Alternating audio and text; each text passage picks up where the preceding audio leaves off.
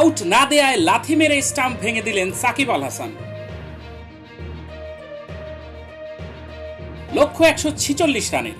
শেরবাংলায় নয় রানে তিন উইকেট হারিয়ে চির প্রতিদ্বন্দ্বী মোহামেডানের বিপক্ষে রীতিমতো ধুকছে আবহনী। নাজমুল হোসেন শান্ত আর মুশফিকুর রহিম দলকে বিপদ থেকে বাঁচাতে চেষ্টা করছে। পঞ্চম ওভারে বল হাতে তুলে নেন সাকিব আল হাসান। মোহামেডানের তখন তিন উইকেটে একুশ রান। ওভারের শেষ বলটি আঘাত হানে আবানির অধিনায়ক মুশফিকুর রহিমের প্যাডে। সাকিব এলবিডব্লিউর আবেদন করেন, কিন্তু আম্পায়ার ইমরান পারভেজ রিপন তাতে অনর আম্পায়ার আউট নাই দিতে পারেন, তার সেই এখতিয়ার আছে। কিন্তু সাকিব এরপর যে কাণ্ড ঘটান, তাতে সবাই অবাক। আম্পায়ারের সিদ্ধান্তে অসন্তুষ্ট মোহামেডান অধিনায়ক রাগে ক্ষোভে উইকেটে লাথি মেরে নন স্ট্রাইকের স্টাম্প উপড়ে ফেলেন। ওই ওভারেই সাকিবের প্রথম পাঁচ ডেলিভারির মধ্যে প্রথমে ডিপ মিড উইকেট দিয়ে পরে ব্যাকফুটে স্কোয়ার কাট করে পয়েন্ট দিয়ে বাউন্ডারি হাঁকিয়েছিলেন মুশফিক। স্বাভাবিকভাবেই সাকিব বেশ চাপে ছিলেন। শেষ বলটি প্যাডে লাগায়, তাই আউট নিয়ে মরিয়া হয়ে ওঠেন সাকিব।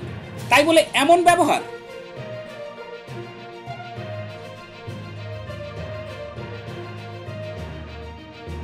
শুধু স্ট্যাম্প ভেঙেই ক্ষান্ত হননি সাকিব।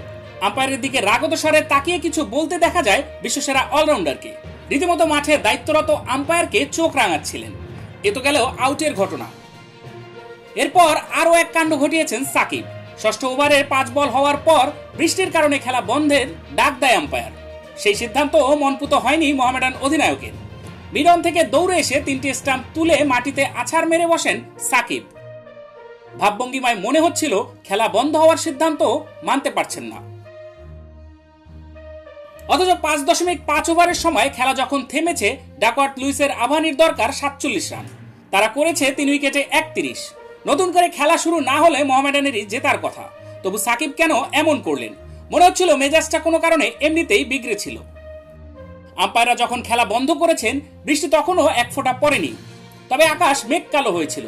বৃষ্টি শুরু না হতেই খেলা বন্ধ কেন? সাকিব বোধহয় সেটা মেনে নিতেই পারেননি। সাকিবের এমন সব বিতর্কে জড়িয়ে পড়া নতুন কিছু নয়। সামনে টি টোয়েন্টি বিশ্বকাপ। এর আগে আবারও নতুন কাণ্ড ঘটালেন। এখন কি শাস্তির মুখে পড়বে সাকিব, সেটাই দেখার।